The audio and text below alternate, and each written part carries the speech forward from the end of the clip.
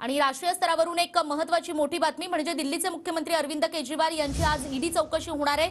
कथित मद्य घोटाळा प्रकरणी अरविंद केजरीवाल यांना ईडीकडून याआधीच समन्स बजावण्यात आलंय. आणि राजधानी नवी दिल्लीमध्ये आज कलम एकशे चव्वेचाळीस लागू करण्यात आलंय.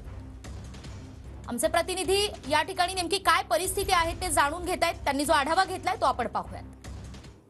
राजधानी दिल्लीमध्ये कथित दारू घोटाळा जो झाला त्या प्रकरणी उपमुख्यमंत्री मनीष सिसोदिया हे सध्या जेलमध्ये असतानाच. आता दुसरीकडं मुख्यमंत्री अरविंद केजरीवाल यांना आज ईडीनं पुन्हा एकदा समन्स बजावलेला आहे. सध्या मी ईडी कार्यालयाजवळचं हे चित्र दाखवतो. प्रचंड मोठा पोलीस बंदोबस्त जो आहे दिल्ली पोलिसांचा त्याचबरोबर इतर सुरक्षा यंत्रणांचा त्यांना या ठिकाणी तैनात करण्यात आलेला आहे. कारण मोठ्या प्रमाणामध्ये शक्ती प्रदर्शन आम आदमी पक्षाकडून केलं जा जाऊ शकतं. आणि राजधानी दिल्लीतल्या अनेक भागांमध्ये कलम एकशे चव्वेचाळीस देखील लागू करण्यात आलेला आहे.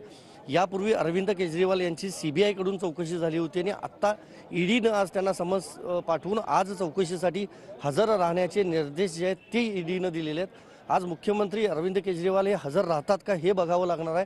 मात्र दुसरं महत्त्वाचं म्हणजे त्यांच्यासोबत जर ते आले तर त्यांच्यासोबत पंजाबचे त्यांच्याच पक्षाचे मुख्यमंत्री भगवंत मान आणि राजधानी दिल्लीतलं जे त्यांचं सगळं मंत्रिमंडळ आहे ते सगळे मंत्री त्यांच्यासोबत येतील अशी देखील एक शक्यता जी आहे ती वर्तवली जाते. मात्र त्यांची चौकशी झाल्यानंतर त्यांना सोडलं जातं की त्यांना अटक केली जाते हे बघणं महत्त्वाचं असणार आहे.